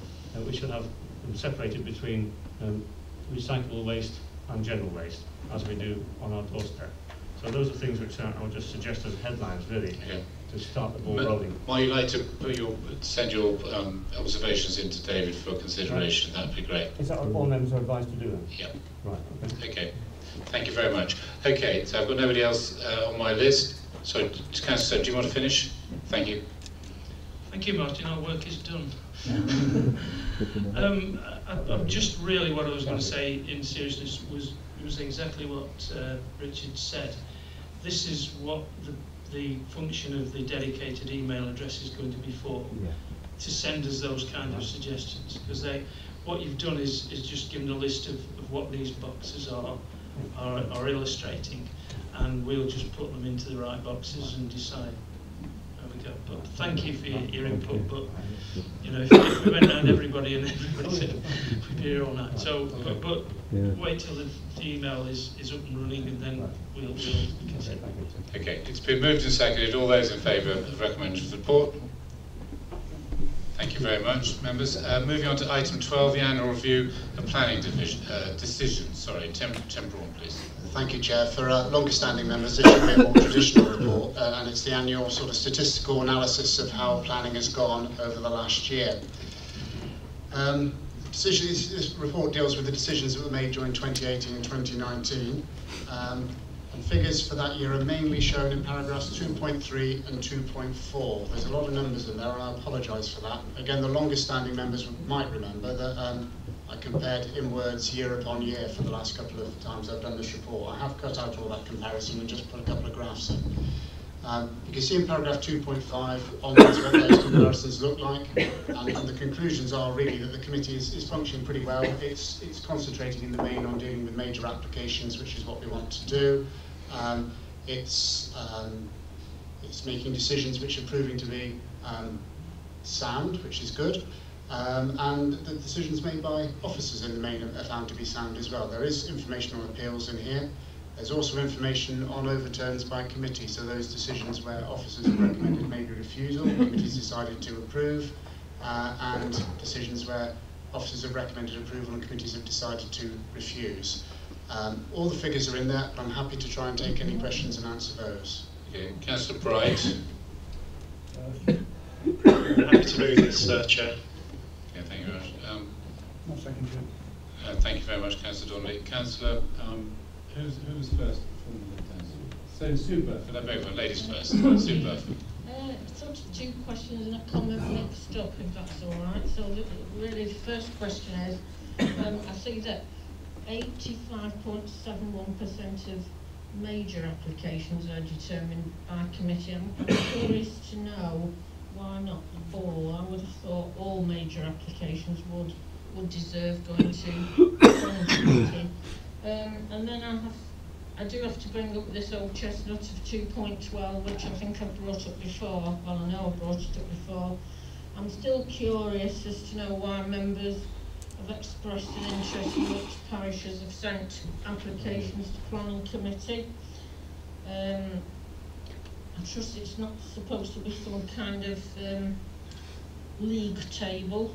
Um, I, for one, as a, as a All Saints ward member, will uh, continue to send applications to the planning committee if I happen to disagree with the recommendation of the planning officer, and that goes both ways. Um, it, in my opinion, it's not just major applications that have consequences. Minor applications also have serious consequences and implications, and if I feel that they need to be in the public forum at a, at a planning committee where both sides, if you like, can, can have their say, um, and everything seemed to, seem to be fair, um, then that's what I will continue to do. Tim, do you want to answer that? Um, why not all major applications, first of all? The answer to that is there are some things which are technically major applications, like a variation to a major application that's already been approved. Is a major, that doesn't really warrant committee time thinking about that.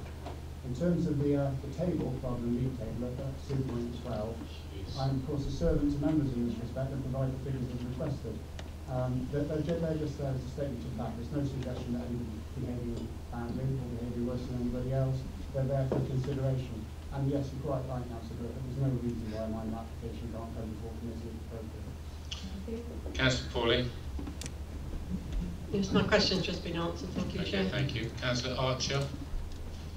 Uh, yeah, my question also is about table 2.12, so it has been answered, although just at a point if the table is going to be there, would it be also good to express those figures as percentages of total applications as well? Because obviously I would imagine some um, wards and areas have a lot more in, in, in terms of just pure number than others, so would a percentage be there also be useful if those figures are deemed to be relevant to us all? I, I can certainly look at providing that, Chair. Thank you. Councillor Slack? Thank you, Chair. Uh, my first question is in, it's a simple question really. In regards to dwelling extensions, uh, are they classed as uh, minor or other step extensions? Uh, They'll be minors, Chair. They're minors, right.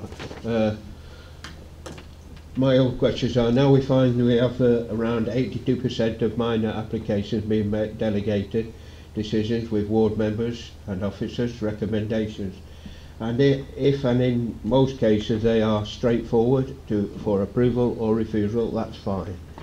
But at Wordsworth Ward, I, I do go around and look at applications. I must stress completely on my own.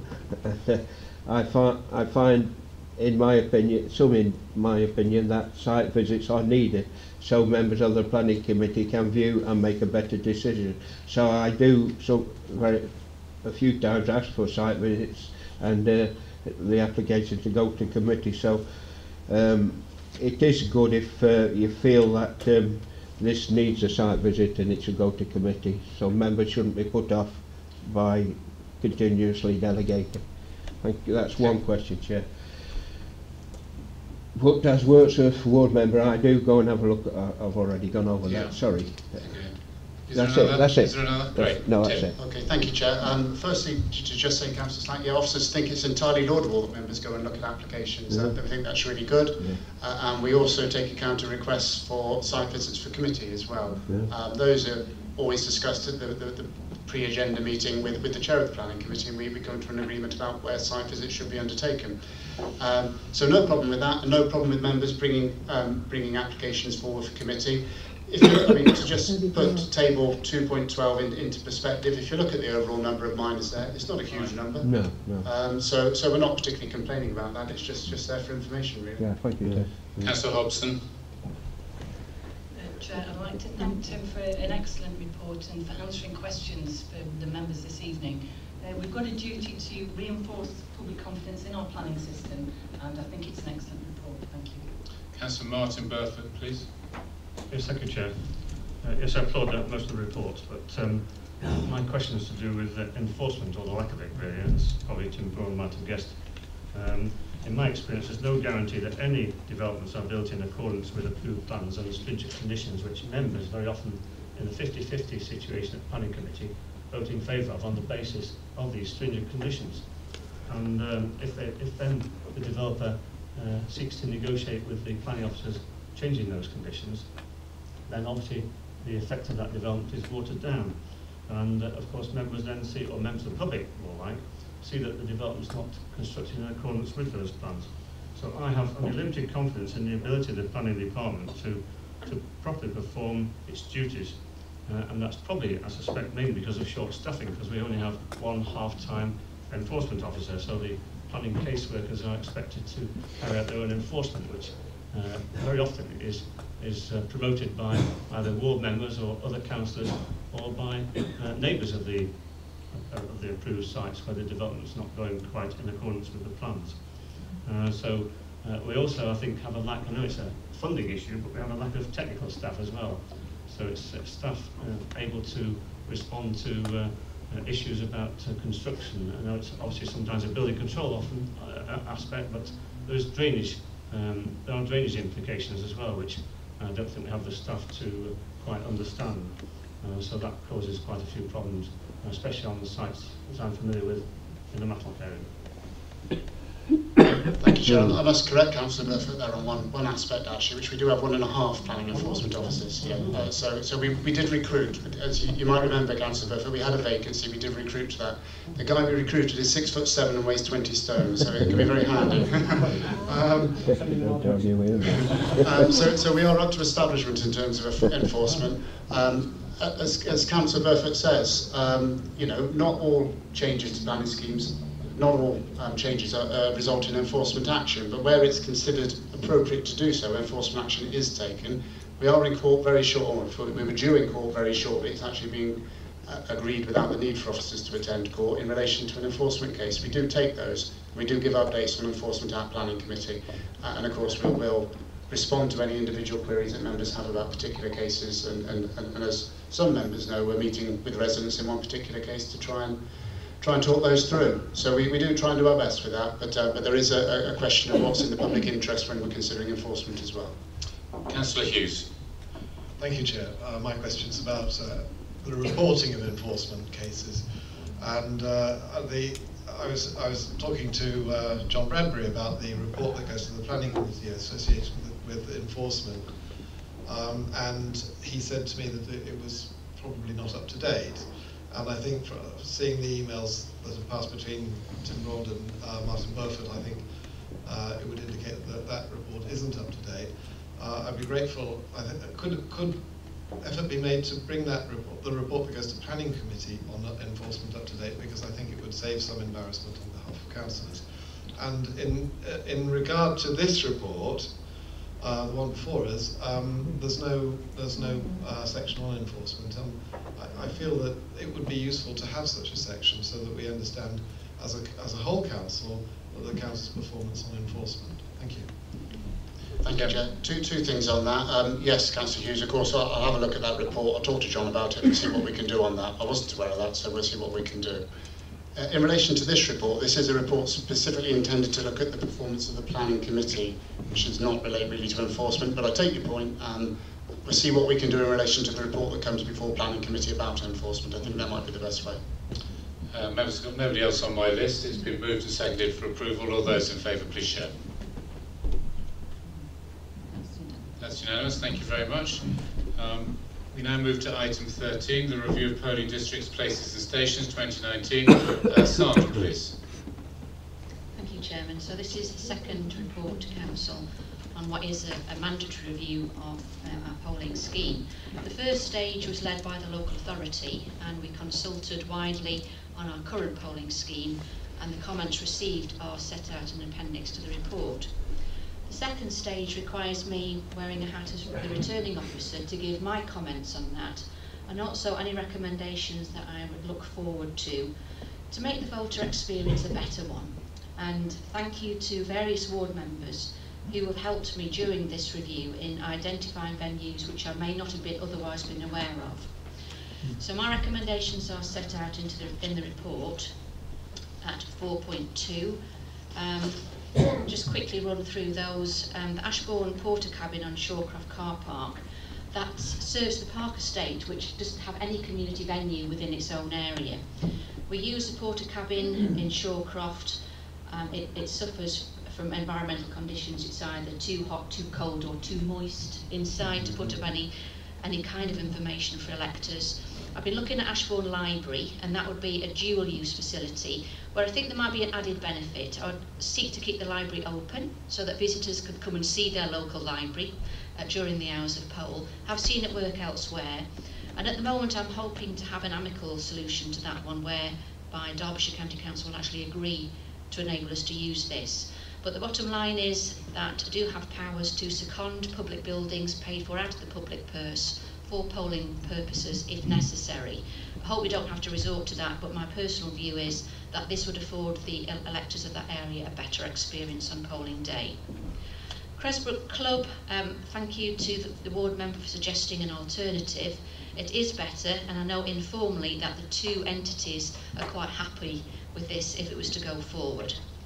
Cromford Institute, um, I've yet to get a site visit um, to, to make absolutely clear that the um, Cromford Community Centre would be better, but I'm, I'm reasonably happy to make that recommendation at this stage. Curbar, we do have access problems there, and that's my major theme this time, trying to eliminate any possibility of people being treated differently at a polling station. So a recommendation there is to delete the polling station in Curbar and to redirect electors to Calver. Uh, just to let you know that all electors are entitled to a postal vote, there's no qualifying criteria at all. Eyam, again, thank you to the ward member. Um, Eyam Church Hall is now proposed as a suitable alternative to the Eyam Mechanics Institute, which sadly didn't have access for disabled. Great Hucklow um, serves a number of wards and there's a high risk of non-availability here and it's not in public purse hands so there's no way of actually seconding that so trying to mitigate risk in the event of a snap election uh, looking um, as an alternative there. Mapleton, um, we've tried several times to find another alternative in that vicinity. Uh, sadly, there isn't one. Um, Ma Mapleton Pavilion is a temporary building in the middle of a sports field. And when the weather is good, it's almost bearable. However, it is not accessible to disabled uh, voters, and there is a known demand in that area. And there's no way that we can provide any temporary ramp arrangements. So I see this as the only way out to uh, move electors to Thorpe. And Sheldon is down to the high cost per elector ratio, where you'll see in the table all elections are funded out of the public purse, and I think there is a suitable alternative there by redirecting those electors to an alternative venue. The next stage will, oh sorry, Ashbourne Hilltop. This was a comment that came through from the public consultation, and it's one of those areas where we have a polling district boundary, which is a wiggly line on a map, and now we have a housing development that deals with right angles, and it just makes sense to redraw the boundary to accommodate um, new development on the ground. There's no change to the ward boundaries. It's just to make it more convenient for the electors living in that particular area. So the next stage of the review will be for my comments to go out for consultation and then the council will make a decision in November. If there is a snap election called before the conclusion of this piece of work, I would look to consult with ward members to bring those alternative facilities into use as soon as practicable Otherwise, um, the rest will wait until formal confirmation in November Can, to answer questions. Councillor Sippel. Yes, thank you, thank you, Chair. Um, obviously, uh, Sandra's given us a very full report already into what she's already done, and and with that, I do feel that uh, we should accept this report, uh, let it go on to public consultation for what's already been proposed within it, and obviously if there are any other ideas then I'm sure she'll be open for listening to these through this consultation period so I propose that we take the recommendations. Councillor Finesse. Yeah, thank you Chair. I'm happy to second it. We have to get these arrangements in place. There may be a, an election quite soon. Um, uh, I, I was just concerned about one. I was surprised that uh, Edensor um, is still being kept open. It's very expensive. Basic cost of weeks 470 um, quite, quite hefty on the cost per voter, on a 42% uh, turnout. Um, I mean, it's only, they could vote at Pilsley, which is only about three miles away, and there's an hourly bus service, so it shouldn't be too inconvenient.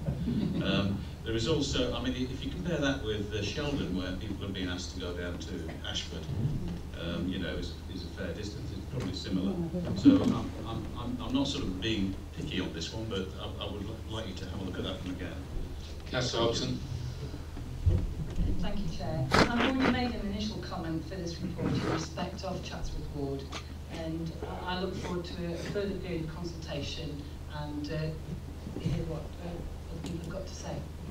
Councillor Archer. Thank you, Chair. Just to clarify the um, the point on the Hilltop, um, Ashbourne Hilltop School and Lower Pingle Road, just the comment on page 25 on that in um, point 32 of the table, it just says no change proposed. Uh, obviously, the, the report we just heard suggested that that change was sort of acceptable, then it said there are no change proposed. I do note it goes on to say recommended it needs to go to community governance review. Can I just get absolute clarity on that, that is that change likely to, to happen? Is that definitely going to happen, or are we not sure yet until it goes to, to that review? I think the mistake is saying no change proposed. I have, when I looked at the map, it was a, a really obvious thing that we could do. So it is part of the proposals to redraw the line.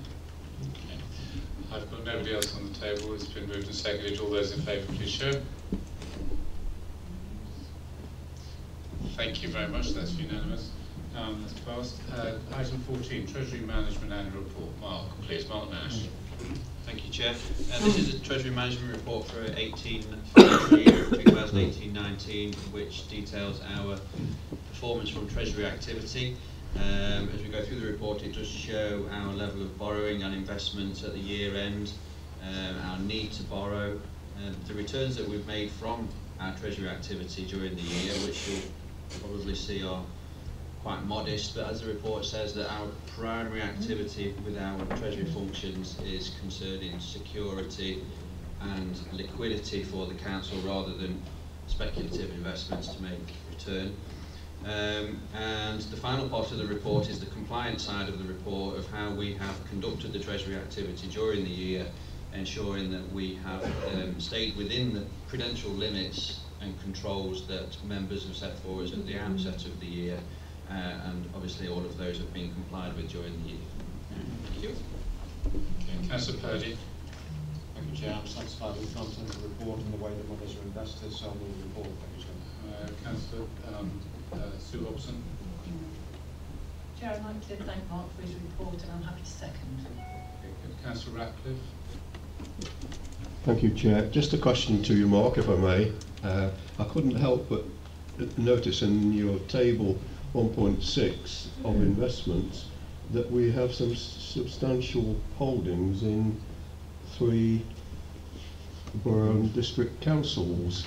Uh, and of course the question arose in my mind, what is it particularly that is of benefit in investing in those councils? And just coming back to what we always uh, uh, I think, bear in mind over our investments is do we scrutinise them for ethical activity? Well, in terms of the investments in the um, other authorities, they uh, they represent short-term loans that we've given to those author to other authorities. Yeah, for their short-term cash purposes, where we have surplus. Um, in terms of the scrutiny of those investments, we scrutinise them um, on their security uh, and on advice from Arlingclose, our Treasury. Are, are we allowed to know what they're using our money for? Um, it, that's not an inquiry that we make on our on our uh, loans that we make out to local authorities. No. Okay, I wouldn't like to think that they were doing something that is. Can, can we have the mic on? How, Mike, we have the mic on. Sorry, yeah, Chair. I, I wouldn't like to think that, that they were doing something that is against our um, stamps on various things. Well, as, as a local authority, they will be constrained by the same by themselves. statutory yeah. regulations okay. that, that we are. Um, but as part of a, a government and a public body, they are seen as um, extremely safe, more safe than um, private sector investments, and so we, we readily do invest in other, other local authorities. Anyway, thank you for your report, Mark. Mark, very good. Councillor Slack. Uh, thank you, Chair. Uh, looking at the same one, Mark, uh, 1.6. Uh, who are our CCLA Property Fund? I'm noticing minus 2.71. The CCLA Property Fund is, uh, is, um, a, a, is effectively a, a charity property fund that's set up. Now, the, the negative return um, is because effectively when we invested in the property fund, it's like buying shares. Yeah. Um, and the bid price that we pay to purchase the shares is more than the amount that we would be able to resell those shares if we were to if we were to sell them straight away. Yeah. So it's a known and expected loss when you are looking at long-term investments like this, but it Yeah. does make the actual revenue return that it makes on an annual basis is, is more like 4%. So um, Yeah. we consider this to be um, a, a, a, an amount of financing that we can put out long term and not have to draw back.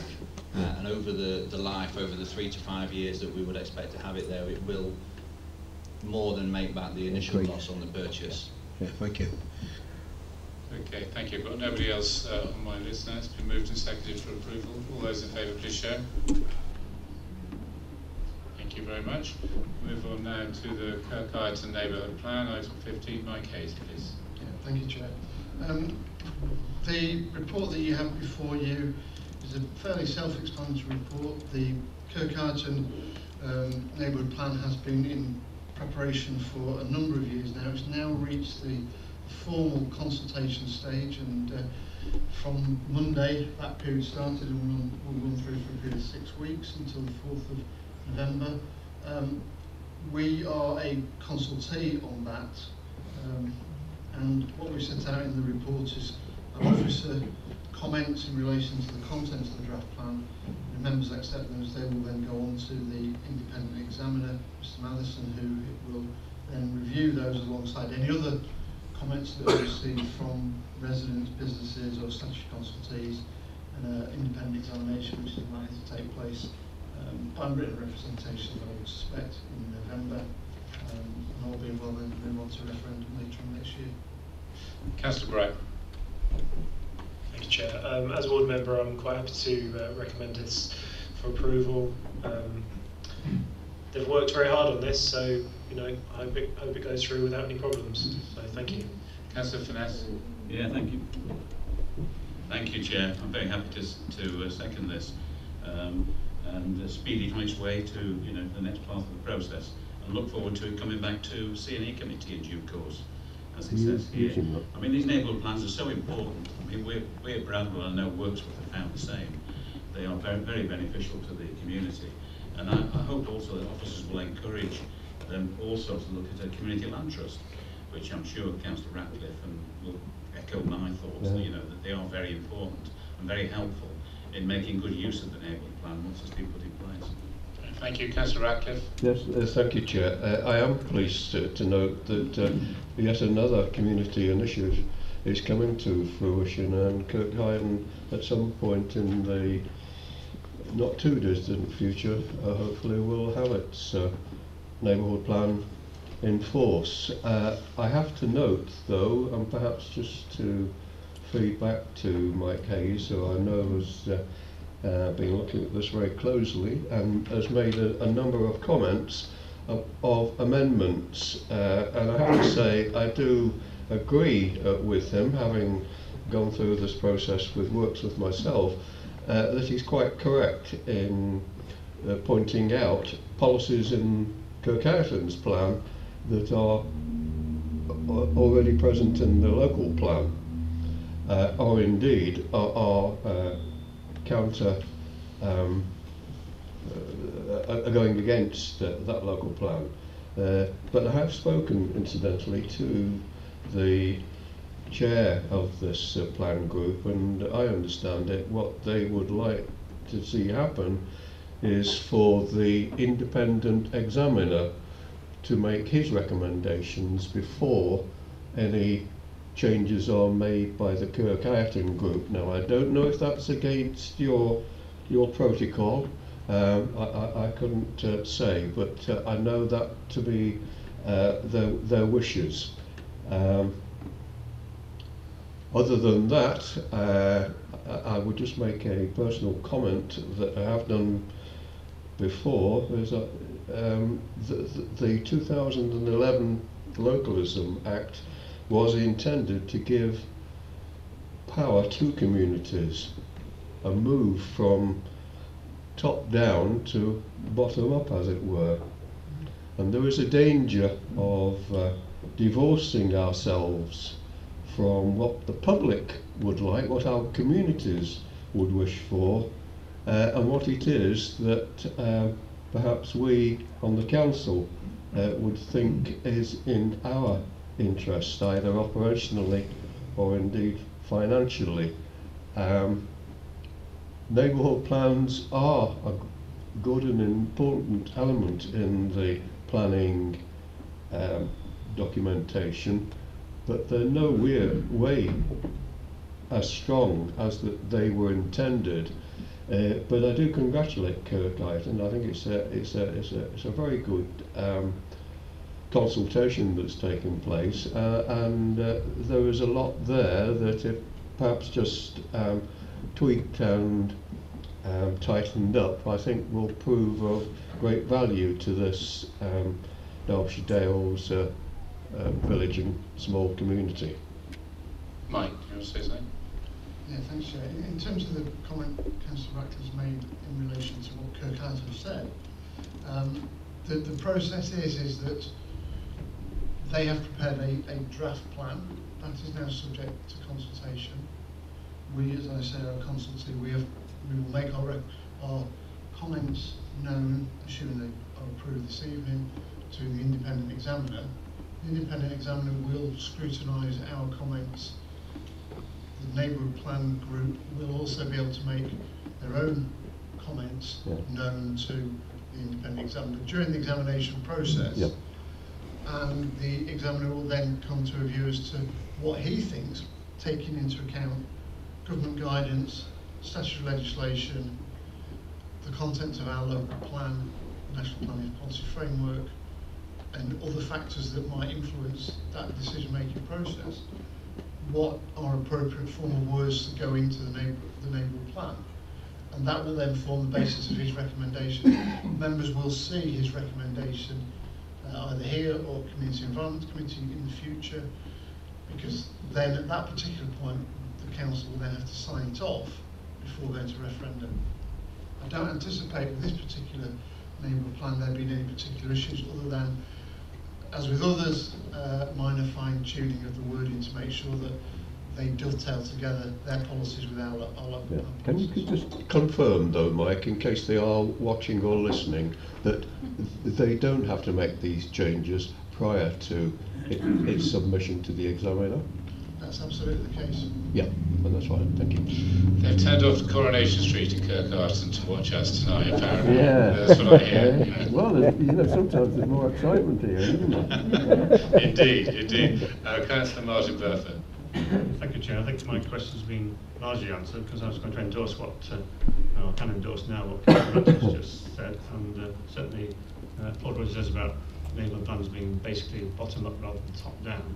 Uh, but I noted, I did notice when I looked at this report that the enormous number of comments or critical comments you say about different aspects of the draft plan. So are they typical uh, all neighbourhood plans which uh, which Mike looks at from time to time, obviously on a quite fairly regular basis? And um, uh, do they do parishes producing these plans normally amend them quite drastically in accordance with his comments, or do they leave them generally for the inspector to adjudicate on? I mean, it, it, seems quite strange to a small village uh, action group to look at these things. I mean, you look at it, it could be quite daunting to go through this and oh, we've got to change that, and oh, we, do we agree with this? And it could go on forever trying to uh, dis- decipher it and also decide what, how to react and how to um, amend the plan uh, to make it more acceptable to this council and presumably to the examiner as well. Right. I'll try to be as brief as I can. Um, Councillor Ratcliffe alluded to that sort of potential conflict, if you like, between the, the desire of a local community to, to sort of set the, the ball, set the, set the parameters for what they want to see within their community against what the statutory requirements are, which is to be in conformity with national and local strategic policy. So typically what we find when we're going through the plans is that there is an aspiration for X and that doesn't comply or either doesn't comply, is in contrary to, or is actually duplicating what's in the local plan.